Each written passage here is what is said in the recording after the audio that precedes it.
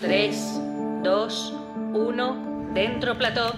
Yalda, La Noche del Perdón, es la segunda película del iraní Masoud Bakhshid, un drama que recuerda al cine de Farhadi, con dos actrices brillantes cuyos personajes se enfrentan a dilemas morales. Aprendí mucho de los maestros del cine, pero es verdad que el primer profesor en mi país es como mínimo la realidad, la vida y todas las historias que se pueden contar observándola de manera más crítica. De dentro de ese edificio que están viendo, un hombre honrado fue asesinado salvajemente por su mujer el pasado mes de octubre. Soy inocente, no lo hice aposta. Estás condenada a muerte. Mariam Komillani era amiga y compañera de Mona Sia, la única hija del director Nasser Sia. Tú di que Nasser era un caballero, que Mona era como tu hermana y que te arrepientes, nada más.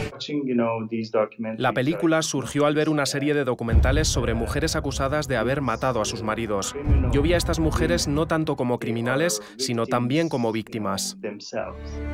Si creen que Mariam Comillani merece ser perdonada, envíen el número 1 al número de teléfono 30001.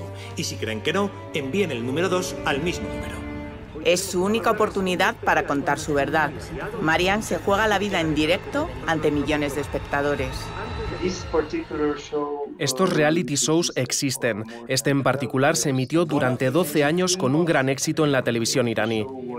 Con el perdón siempre de fondo, también trataban otro tipo de conflictos, de familia, de pareja. Obviamente los programas sobre crímenes y las historias más morbosas eran las que más espectadores atraían. Necesito salir. No puede. Siéntese. Me alegra y enorgullece que después de mi película dejó de emitirse. Esto nos va a hundir a mí y a la cadena. Te pido que la saques de ahí enseguida. Hay una crítica enérgica a los medios de comunicación y las redes sociales que nos hechizan. Creemos que somos nosotros los que escogemos, pero tengo la sensación de que es al contrario. Ellos nos eligen y acabas forzado a juzgarlo todo y a todos, y eso asusta. Si va a enseñar a todo el mundo mis miserias, déjeme hablar al menos. Vas a tener una hora entera para hablar. Yalda cuenta una historia humana y universal en la que todo gira en torno al perdón.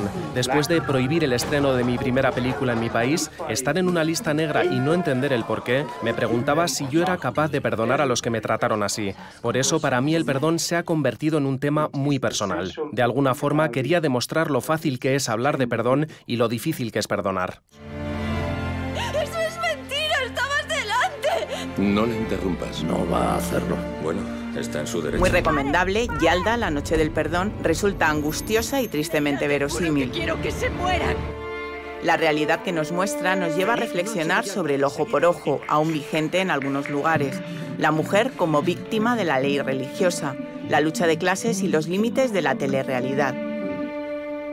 Ha dicho todo lo que ha querido. Póngase en su lugar, usted perdonaría.